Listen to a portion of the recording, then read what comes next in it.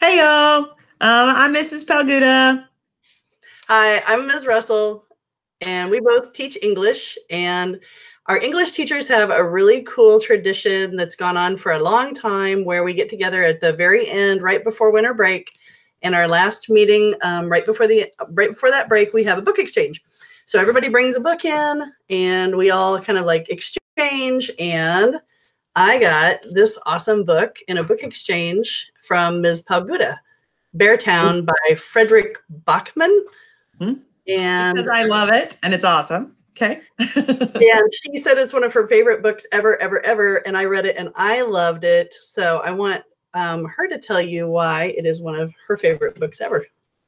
Okay, well, I love Fredrik Backman. He is um, a his he's a foreign writer, so all of his works are translated, which I think is really cool. But um, I what I love the most about Beartown is um, the characters. The characters are amazing. Um, there are teenage kids all the way up to you know middle-aged people, and everybody's story is so just amazing and cool. And you feel like you really get to know all of the people in there. So it's not just two or three people that you want to know about, it's the whole town. And it's about hockey. And who cares about hockey? But you love it. you learn to like, True. wow, this is why they all love hockey so much. What about you, Miss Russell? What what did you like about it? Oh man, everything you just said um, pretty much nailed it. But also, yeah, I did. I was surprised when I first saw it. I was like, I don't know if I can care this much about hockey. These people are really into hockey. But, but it really becomes. I mean, I think the thing that I love is the town itself almost becomes its own character. Mm-hmm.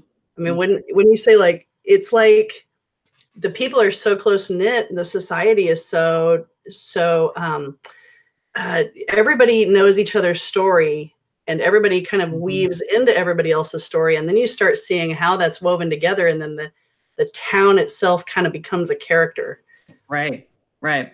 And the characters, like you, you don't totally hate any of them. no because even the bad guys, Yeah. like, you, you understand, you learn so much about them that you are very conflicted with the things that they do. So it's like real people. Like I love those people, and I want to know what happened. yeah yeah seriously it, it's so riveting um in fact okay so i'm going to read just to the very beginning because um, i think it's super super suspenseful as well that was the other thing i liked about it so it begins like this is all there is like on the very first page it says late one evening toward the end of march a teenager picked up a double-barreled shotgun walked into the forest put the gun to someone else's forehead and pulled the trigger this is the story of how we got there.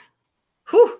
And you cannot put What this book down until you figure out what happened. And it is so wonderful. So I also passed it along to a friend of mine, and um, she said she's not a teacher, but she's an avid reader. And she put it, she's like, this is in my top five favorite books of all time. So Yeah. great read. Um, it is- the first of a trilogy, supposedly. The first two are out. The third one has a name, um, but I don't. I can't find a, a date when it comes out. Um, so the second one, right? mhm, mhm. I haven't gone on to this one yet, but Ms. Palguta assures me it is the best. Yeah, it's almost as good as the first. The first, Okay, oh, this is the best one. yes, And, and, then the second one, yeah, um, and you learn more about just you know the characters that you loved in the first one. So you know it's it's a great continuation. I just can't wait for the third one. Oh, nice. Awesome. All right. Hope you guys will pick this All up right. and give it a try. Happy reading.